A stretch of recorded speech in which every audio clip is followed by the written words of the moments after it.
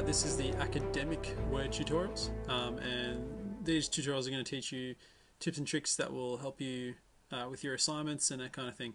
Okay, so um, let's just begin.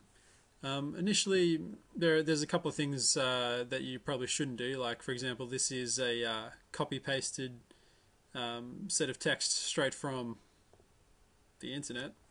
Okay, and this is the you know rules 101. You don't do this uh, because it's plagiarism.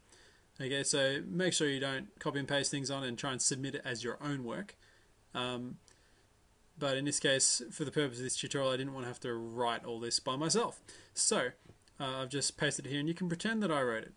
Okay, um, there's a couple of things that we want to get rid of, um, and I'm going to teach you how to do that quickly. So, for example, we've got these uh, little 22s in brackets. What these are are actually references. Okay, and so this 22 represents a source that was used to write this article. And if you go back to our honey badger thing and we scroll down, you'll notice that there are a whole bunch of references here.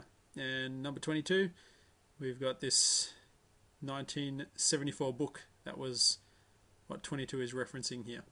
Okay, so that's what these numbers are. But we don't want them um, just for the sake of this tutorial. Normally you would reference everything that you use, and you can see that down here I've referenced the Wikipedia article that I've got this from.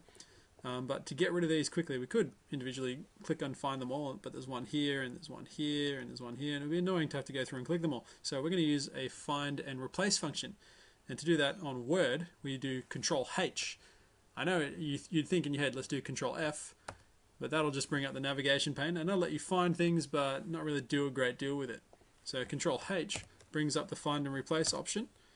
Okay, and now we can pretty much type anything in here, Word will find it and change it.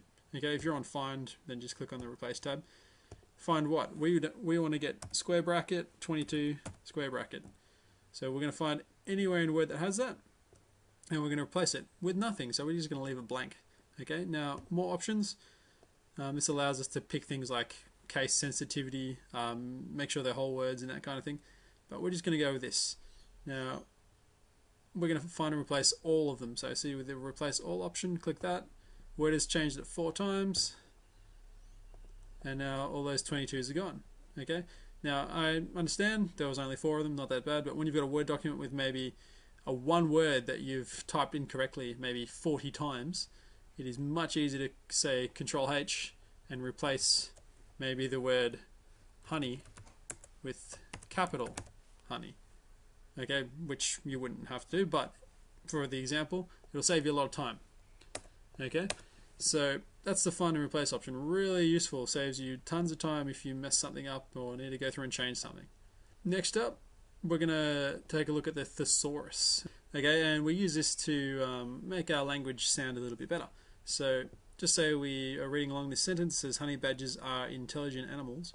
Um, we might want to use a different word uh, to make it sound a little bit better.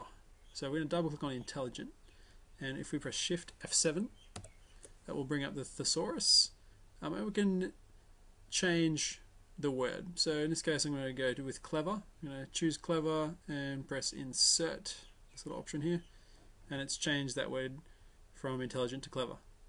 Okay, so this can be used for heaps of different reasons. Maybe you just want to jazz up your language a little bit. Um, alternatively, you can, you know, search it up on the internet you can find probably more words than um, Word will supply for you. But um, generally speaking, there's quite a few in the thesaurus. Um, you'll notice that Word has automatically highlighted words that it thinks are misspelt. Okay, sometimes Word is incorrect, sometimes it isn't.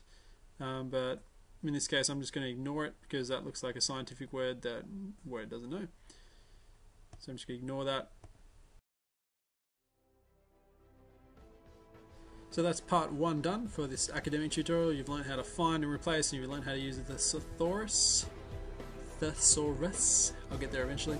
Um, save your work and then we're going to move on to lesson two.